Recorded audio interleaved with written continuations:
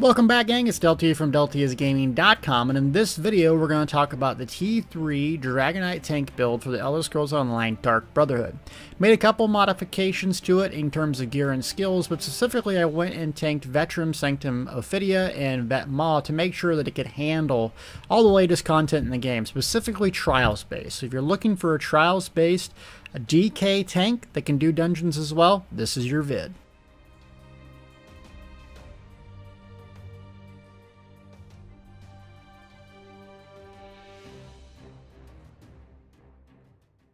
Who doesn't like three red balls floating around their character? Well, I'll tell you what, nobody, because it's awesome. In the T3 build, we changed some things with gear, skill, and CP. I'm going to show you. Yeah, so the orbs, we're going to talk about the gear thing real quick. Now, basically, I'm still using the Tava's uh, setup, and that was with the sturdy trait. So I had to recraft here on uh, this new patch, so I burned through a lot of temporaries, taking donations. Still want to provide your group with some awesome ultimate regeneration using Warhorn. So with this setup, I can usually average an aggressive Warhorn once every 40 to 45 seconds if I'm keeping all my buffs up. I, I just think it's an absolute must have. Now, you notice the problem with the Tava's tank here and heavy armor is that the pieces don't come in any mitigation compared to footmen's or something like that. So you're going to suffer from mitigation issues if you don't counteract it in a couple different ways. So I went with Tava's on a couple pieces of my uh, body, three, and then foot. Uh, Bloodspawn here, sturdy as well, and I, I enchanted it magic. I'm going to get to why that in a little bit. Uh, but this gives me that extra boost of physical resistance I need to get the hard cap. The problem is it has a cooldown. So you're not going to have your hard cap CP, unless you spec your CP differently, um, at that 32, 33k range. So when I buff here, we go back and look at this. I'm at 29k spell resistance. That's real good. Physical resistance, that's a bit low. Now, the hardest boss to tank, or the hardest hitting boss, I should say, in the game is really the Mana Mantikora. Now, I've done it with this build, no problem, uh, but you're really dependent on your healer. So you may have to change around your 5-piece depending on your specific setup to get that more uh, mitigation, or you can swap your Mundus Stone depending on your race. So 5-piece with that, 2-piece Bloodspawn, Ultimate Regeneration, and then a 5-piece Ebon Ebon set. So the Ebon Armory set comes from normal Mall. Uh, you can get some of the gold jewelry, I think, from the last boss and Vet. I don't know for sure, but you can get purple now, which is really easy to get. So adds a ton of health. Now the reason I'm using this is because I have been using Bahraha's Curse right here, and that's for like normally just clearing trash, uh, doing group dungeons and stuff like that. But for harder, higher end content, you really need to provide something to the group. And uh, almost 1100 health really helps those ultra glass cannon DPS survive during trash phase. So it gives me a lot of health, which allows me to put points into other stats. You can see here I'm at 24k stamina and uh, 18,000 magic. I have decent magic recovery and heavy armor all heavy. I went with all heavy because I was feeling way too squishy uh, with 5-2 setup. So all heavy. I don't need more stats with Undaunted. I'd rather just have more armor and resistance. Now, uh, I went with one recovery and two reduced costs. You probably want to go two recovery and one reduced cost, but I uh, ended up crafting the wrong glyph twice. Derp. But another really key thing to do with your build here is this weapon enchant on an infused sword. So this is going to be your main taunt bar, and, and, this really helps out the DPS of the group. Reduces the target's uh, spell and physical resistance by 1946. So if someone else has a crusher enchant, it won't it won't stack, but that allows DPS on your team, if you're the consistent tank, to free up their enchant. So maybe fire, maybe poison, um, weapon damage, of course, uh, spell damage, but something else besides that. So our main taunt bar, you can see that this will apply that debuff without just swinging your sword. The only problem is it lasts for five seconds. So you're going to have to constantly bar swap and, and apply this buff and or light attack in between. When in doubt, hold block. If you're struggling as a tank, I see tanks get lifted all the time to wrecking blows and just insta die to heavy attacks. You should be holding block. Once you know the mechanics of fights and stuff, then you can kind of drop your block here and there, swing your attack, light attack, but really there's no there's no downside to holding block, especially if your your group is consistent and you have the appropriate buffs and debuffs going, you're going to have stamina coming back to you at all times. So don't worry about that. On the back bar, I went with decisive. So I really like this trait. Now it's a little controversial. I know people don't think it's that good, but it, it can add up. And so what I do here on my bar setups, so I have Ransack as my taunt. I'm gonna tell you why I switched morphs. But right here I have Igneous Shields on my back bar with the decisive trait. So what I do is every six seconds or so, I go back to my back bar and I'm getting stamina back, but really I'm getting ultimate. And so once I gain that extra ultimate, boom, this is procking that extra ultimate on my sword and board bar, which may proc more ultimate for me. So that's why I have that on the back bar. Uh, the other the other uh, enchant here doesn't really need to apply. You could even use some poison, like minor minor vulnerability, or something like that. But if you do need extra stamina, I put it on there, so I just swing here, light light attack here and there to get some more stamina back. I'm an orc, and so on my gear enchants, I went 64 stamina. Now, depending on your specific race, you really should be able to do some damage in a pinch. Because some of these dungeons, like Vet Maw, that, re- that will require two tanks the majority of the time. Um, Sanctum Ophidia Veteran mode doesn't. Now you can run it with two tanks, and that's what we do because there's the ads are really troublesome. Where you can pretty much be a DPS and just to chain things once in a while. So it's important that if you switch to DPS gear that you have a good consistent setup. So what I did is spec all my stuff into magic pretty much with one stamina enchant. And so that way I still have a decent pool of magic, I got a, a, decent pool of health, and a lot of stamina. I really think stamina needs to be your primary objective. The reason why is Spear Shards gives you stamina back based on your amount, so 25%. So if you have 10,000 stamina, 25% of 10,000 stamina, math time, it's not very much. 25% of 24k, that's a lot. So that's why I go more into the max stamina uh, specifically that way. Okay, so skills. Let me talk to you about what I changed here. Now I have, let me show you, you guys see this coming up Lamia boss, so Test, guard, stalwart guard, Maw, DPS, guard tank. I have a million different setups so that I use. Uh, Lamia boss is the thing in the back, the back room at Ozara, and it's a really hard fight. I'll explain a little bit what I switch out. So uh, these two things here, absorb magic and volatile armor.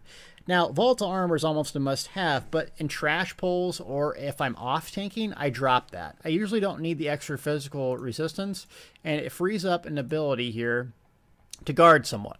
Usually I'm going to guard a melee DPS that's squishy or dying a lot, or uh, a magic build that needs the extra critical strike damage. So you're going to guard the squishy person. That person running around with 16k, eating popcorn, getting thrown up, you need to guard them, prevent them to die. You can swap guard as well. So don't just guard one target and think that's all I'm going to sit on them and just never do anything. You need to be active with your guard. Is your healer in trouble? Click it. Point at your healer, click it again. It can save wipes for your group.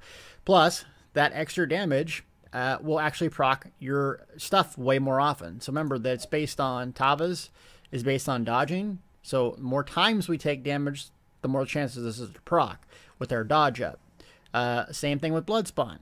More times you take damage, more times it can proc our, our blood spawn. So I drop these two abilities, volatile armor and absorb magic. It's going to make me a lot squishier, but that's like I said, if I'm doing off tanking or I just need to get protect someone specifically. Relenting chains, gotta have it. I love it. Now, in very specific fights, there is nothing to chain. Um, but most of the time it's it's prudent to have this on here. I also use propelling shield and I would recommend leveling this up completely. It's a pain in the butt to level up. Awesome you need to look at this. But the second boss in Vet Maw will require you to do some uh, long range taunting, so it's useful. It's also useful to have a magic dump in the final boss of Vet Sanctum Ophidia. And Ransack, it seems like an odd choice because I've I've boasted about, you know, taking uh, the other morph here for physical and spell resistance. But right now there's a problem. In most trial groups, someone is going to be running uh, this morph right here, Elemental Drain. So it gives you Major Breach, which is the same thing the other morph of our taunt does. The problem with it is when you reapply your taunt, it strips Elemental Drain's magic uh, effect because every time you apply some new buff, like let's say you have a, a potion up and you apply a major brutality another way, like rally, it re it redoes the effect and sometimes strips it away. Now we've told ZOS about this. I've tested it. It's true. Um, so it's a big deal if you get if you drop elemental drain from your trials group. So your healers will notice this. So that's why I went with ransack. Plus, I'm pretty low on uh, armor anyways, the way it is, so I might as well use it and get that minor resolve for 12 seconds. Remember that this taunt, it's hard to over taunt now, so I use a little more actively on targets, uh, specifically applying that Major Crusher enchant. So uh, I wouldn't go haywire and just spam this thing, but you can do it a little more frequently. Main thing is keep that block up if you're having trouble. Next up is Choking Talons. We've used it bread and butter, minor maim for everything in the area for seven seconds. And remember that it applies minor maim, um, even if it doesn't like necessarily talons the guy in place. So if you're out of stamina and you're getting the crap beat out of you, you can apply minor maim to some other targets using choking talons. So just keep that in mind. The synergy that this provides is amazing and the damage is fantastic. So you I really think you need choking talons. Now, in fights where there's absolutely zero AoE, which is pretty much none, you can swap this out. So I just pretty much always leave it on my bar. Absorb Magic, um, I switched this morph as well. So I went with defensive stance, defensive posture for a very, very, very long time. Now, I still like that skill, but the thing about it is, it's somewhat counterproductive when we're doing pulls and the mob gets stunned. Because chains won't bring him to me. And uh, I'm not going to go to them either, but I'll just sit there and do nothing. So I really like this extra healing it provides and the fact that it's reliable with my chains. I'm not going to be able to uh, down some mobcaster and not be able to pull them. Next up, Heroic Slash. This is going to give you uh, minor maim for 12 seconds, uh, major heroism as well, and that will generate ultimate when you swap your back bar. So I, I do like that. I, the reason I put on my front bar is because I do a heal combo with Igneous Shields, Resolving Vigor, um, so that way I don't have to swap. But when in doubt, this thing needs to be applied on the boss. Again, it needs to be applied on the boss. Because sometimes the boss's effects, like you know, ground crap poison or lightning or, or something like that, fire, sometimes it can be debuffed through this ability, not just the physical attacks. So make sure that you're keeping this up on the boss priority. If you can't do this because you run out of stamina, do choking talons. Do something. Debuff the boss. It's not literally just tank there and sit there and take damage. You need to be active in debuffing. That's a big part of it. Next up, Aggressive Warhorn Alliance War. You need to take this morph, not the other one. It's critical. So you and your allies gain major force uh, for 9.5 seconds and the huge amount of stats. It's just the bread and butter of trials DPS right now, having about four people run it, um, popping it once every 10 seconds if possible, and at least every 30 seconds if possible, having a nice solid Warhorn rotation. The extra max stats, along with my Ebony, you're looking at giving someone a whole lot more health, so it's going to prevent a lot of deaths. Like I said, if you're optimized fully with this build using a lot of your buffs and debuffs, you can get this every 40 45 seconds, but it's going to be an active tanking role. You're not going to sit there and just hold block. So if you're looking at getting this up every 4 or 45 seconds, you're going to have to cast this about four times. You're going to have to cast Igneous Shields a crap ton. Because remember, you can get ultimate back here in the Earthen Heart ability every six seconds. So you're going to need to be very, very active, debuffing, healing yourself, providing utility if you want to get those warhorns off reliably. Backbar, uh, Igneous Shield. Now, I swapped out uh, this, and the reason why in my Stam DPS build, I'm going to use Molten Armaments. And then most uh, DPS healers, uh, anyone are going to be running uh, their own uh, spell power or weapon power potions anyway, since medicinal use is reliable now. And the extra advantage that Igneous Shields gives is just fantastic. It's just a juggernaut. Major mending, increasing your healing done, and it provides a nice little shield. Now, the shield can be uh, raised with the Bastion. That's very valuable. But the thing I like about it is you can spam this with the major mending and along with vigor and use some really nice healing. So if we look at this, 2.4k non-crit uh, times 2, so it doesn't seem like a lot, but once that major mending goes off, you can see it goes down. Now imagine doing this. It's it's like a weak healing springs. So the tank, my tank roll here, if I'm doing nothing else and I got all my debuffs and buffs out, I'll do an Igneous and there. Now remember, major mending lasts about 6-7 seconds, 3.5k on a crit, and then you can get back your resources uh, and ultimate every 6 seconds with our Earthen Heart passive. So a lot of times I will do that combo every six seconds, regardless if everyone's at full health. And I've gotten up to 20,000 healing per second just doing that combo because everyone was stacked together. So you need to have magic, but this gives magic, uh, takes magic, gives you back stamina, which I put right into resolving vigor, giving health back, and a lot of utility. Um, a mandatory skill you have to have is shuffle. Now you can take the other morph, but sometimes it's useful to have shuffle to get rid of the snares and immob- uh, mobilizations back in the, the back room for the Ozara fight. So I really like this. We're not using any medium armor, so it's not going to increase the duration per se, but the morph uh, allowing us to remove those snares is really, really nice. Now another thing that not a lot of people understand is that Inner Rage, the synergy that this provides uh, DPS wise is incredible. Uh, there's some people that have gotten 100,000 DPS hitting this energy once.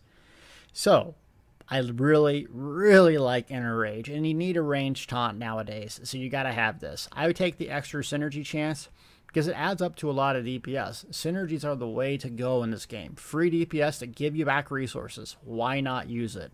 So I really like that skill nowadays. We talked about volatile armor. Cost magic gives you that physical resistance, though I do swap it out for guard, vigor, and then I go back with magma shell. Uh, in an oh crap situation, let's say we're, we're about to wipe and no one has a nova and the boss is doing a lot of damage. It will give us a nice little shield, but more importantly, I can res and basically not die.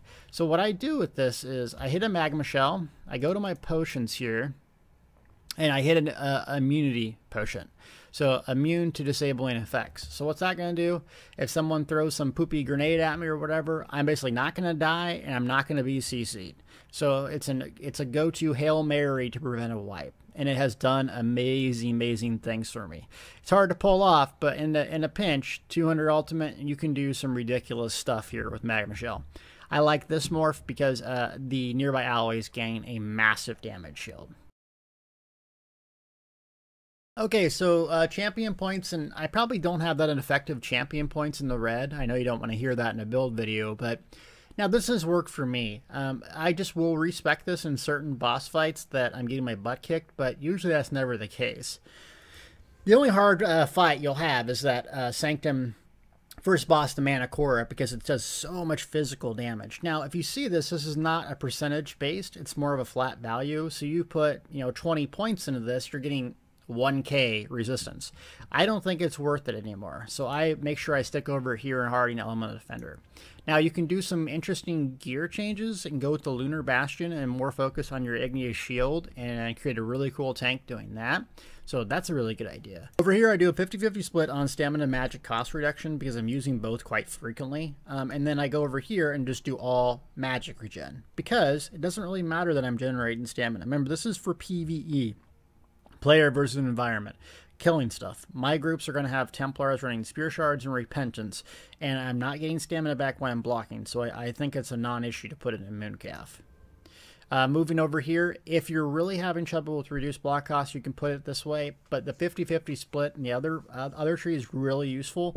I have every single part of my gear is legendary sturdy. 4%, 4%, 4%, I mean, 4 times 7. Do the math, it's a lot. I don't know, what's that number? I can't math, kids. Um, over here, now this is obviously not what you want to do for an off tank, but if you're like looking at just surviving, this can affect vigor. This can affect vigor's healing. Uh, excuse me, other healing that Dragon Knights do as well. So it's just a cheesy, lazy split. But really, you want to set it up based on stam, your stam DPS, or your magic DPS over here too because this isn't necessarily going to save your life, more so being an effective off tank that can DPS as well. Okay, so let's go round up some critters here and kind of show you what I'm going to do. So the pre-buff phase, uh, I'm just going to get my shield up. I'm going to put my shuffle on, so I'm going to get my 20% dodge chance. I'm going to buff up with my armor. I'm going to bar swap and then hit absorb magicka. So you can do it in whatever way you want. Igneous, shuffle, and you see my resources are very, very juicy with this build, and that's in all heavy armor. So usually, if it's a boss, I will obviously do an inner fire. If it's not, I will do a chains and a bang. So chains, light attack, and a bang. Now you still need to be light attacking even though you're a tank while you're chainsing them in.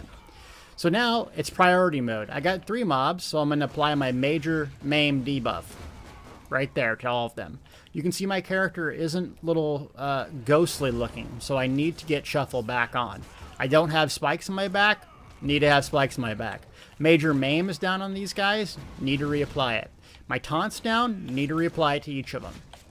I'm running out of stamina, pop a potion. So I'm going to go back to my back bar and its priority mode. So I'm going to do this, little self-healing, little self-healing, and build building up some ultimate. So when in doubt, Warhorn, boom, almost a full flood of resources, and then just go back into priority mode. Let's kill him. My tank deeps is off the chains. I actually can do decent DPS just spamming Heroic Slash. So, let's just recap what we're doing. The pre-buff phase, you need to be buffing. This is not priority number one. This is what generates your ultimate. This is what will save your life a lot of times, and it's your stamina. Shuffle. So 23 seconds. This is going to have to be cast more frequently, 20 seconds, and it costs magic. If you're going to run out of stamina, you're dead. If you're going to run out of magic, you're not. So when in doubt, if your stamina is low, spam Igneous Shields, that Earthen Heart passive to give you back stamina. But that's priority number one. Um, this, just having on your bar, is is very good. But if you notice a caster peppering you, this is what you're going to do is casting it. And then you have your maims right here. So you have your, your AoE maim, or debuff, reducing their damage, and you have your single target for like a boss. This will also generate ultimate up, so you really want to use it. However, when in doubt, you need to be able to maintain shuffle over heroic slash. Trust me. And then you have your taunt, ransack, single target taunt uh, up close, and then Inner Rage uh, far away. So the priority here on ransack, if you're playing in a trials group, there's going to be other ways to get ma- my major fracture. Specifically, Stamina Dragonknights are probably going to be using Noxious Breath, which applies the exact same buff. So that debuff is not so important. The Minor Resolve giving you that 1300 physical resistance is really nice. Um, but when in doubt, the Radiate is very, very useful for the synergy potential and damage potential. So I almost prioritize my taunting with Inner Rage over Ransack nowadays, which was never the case in the past. But as I understand more and more about the game and more and more about trials and so forth, um, yeah, it's all about group play. It really is. And if you can do something to help your friend while helping you, it's good for the goose, it's good for the gander. Okay, last video clip here. Let's show you how to manage resources. I'm not going to be able to kill stuff, but I can last for a while. So I'm here just in Spindleclutch, dinking around. You can see I got a snare on me, put my shuffle on. And so let's see if we can't just tank a bunch of these mobs and just see how we manage resources. So the very first thing, I got a potion up. So usually my first uh, instinct is to always use a tripod first to get my resources back up. Maintaining my buffs here, give myself a little self-heal. See, I'm, I'm rooted in place, so instead of a dodge roll, I'll just cast Shuffle. My stamina is getting down a little bit, so I'll go a couple Igneous Shields. And then now it's time for Ultimate. So if I hit Magma Shell, I know that I don't really have to block unless there's a heavy attack coming. So that gives me some time to get back a lot of stamina. So I'm going to get back my resources. I'm going to debuff a couple times, get Heroic Slash going to generate that ultimate. Make sure he eludes back Igneous into a heal.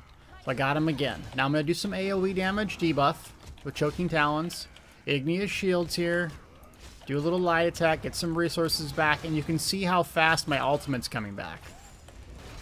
See? Heroic Slash and Igneous Shields. Now I don't have to block. I can use Igneous a couple times to get my stamina almost max, recast Shuffle, and that's it. And guess what? Tripod's back up. So let's see if I can't get in more pressure. Let's go grab this guy. Oh no, I'm gonna die. Alright, let's panic. I'm just kidding, tripod. Here we go. I'm gonna do absorb magic, even though that's probably not gonna help us here. Igneous Igneous shields. Give me that magic. Give me that stam. Here we go. Choking Talons him here. Now I got my big old nasty Magma Shell. Let's just see. Tank and spank. I'm not holding block here. I want that resources to come back. Ripping off a full heavy. Okay, now Magma Shell's coming down, so I'm going to get all my buffs up. All my buffs. So now I'm really in trouble here. Something needs to die or I'm going to die. 140 alts. That's what I'm at. I'm close. Eight seconds on a tripod. If we can last that long, we got this. Here we go. And come on, spiked armor, tripod. Ooh, tripod's up. Magma shell's back up. Now unblock reapply all your buffs. Okay, and this is how you tank basically a million things. Rotating between your ultimates. Now, I'm at low stam, so shut up, Deltia. Do this igneous weapons. And I'm already back at 130 ultimate. Low stam, use my magic to basically get stamina back. And it, boom, got it back up. Drop block, I'm going to do a big old heavy to get stamina back. I got five more seconds left. Oop, better block. I'm in trouble. Dodge roll. Potion, got 10 seconds left on a potion. Come on. Come on. Here we go. Potion, four seconds. Don't die on a video. You can't. I'm spamming the button, wrong button. But I'm spamming something. Okay. So Igneous over and over and over. Spiked armor's down. Gonna reapply that. I'm low on stam. And boom, that's back up. Choking Talons. And I can just do this all day, basically. Um, so you can see, obviously, when you're solo tanking mobs like this, it's not going to simulate uh, a boss. But what it does do is gets you under pressure and allows you to figure out how are you going to manage resources independently of other players. And this is how. You can see how effective Igneous Shields is in transferring basically uh, magic into stamina. Igneous Weapons, hold down to heavy, tripod, I am at full resources. So you can basically go full resources with this build, and that's the strength of it. It allows you to do group utility, it allows you to have absolutely freakishly amazing resource generation, and not be dependent on someone else for stuff. So you're gonna get a lot of friend requests if you pull this build off correctly. Okay, shut up. We're not done yet. 89, come on, 200%. Bang, Magma Shell. Stop holding block. Rip and grip. Smack him a couple times. Most important buff, I need to be gray. So I'm just going to spam Igneous. Look at that. Boom. I can basically out uh, Igneous the block costs. See that? Heroic Slash. And I did that because I knew a potion would be right back up. And I got five seconds left on Elude, so I'm going to make sure I cast that again. I know this is boring. Okay, so let's just start finishing these little tater tots. Come here, Archer. I'm tired of you. Now remember that Absorb Magic will not reflect them Archer Bolts. It's going to reflect magic, specifically. So it's not that effective against those guys. Then I use my Taunt to reduce their armor, if I'm going to do damage, and then Heroic Slash. Oh, taking damage, so I'm going to hold block, go back to Igneous Shield, I'm going to do it a couple times. That Decisive trait will proc some extra ultimate. And rip down a whole heavy. Taunt him, debuff his armor, rip down a whole heavy. Potions back up. Now I'm not going to do damage, but I can survive all day, every day. And why not? Warhorn for to go. Why dare you run over Saad Harim? Yaif is dead! No, this guy is tanky. Come on, die! Video's about done. Lord have mercy. So that's the T3 updated. Most of the stuff is the same. A few things have changed, making it super, super tanky. Uh, very effective in almost every single environment, specifically trials. Uh, I've been doing dungeons, but a lot more trials recently. And so I needed to find something that offered group utility to the max that had a lot of survivability and a lot of resources, and this is what I came up with. So hopefully that helps you on how to use it. Um, Stam Templar should be out tomorrow or today, so we're going to get to that, and then Stam DK, DPS, and a couple other things. Thanks for watching.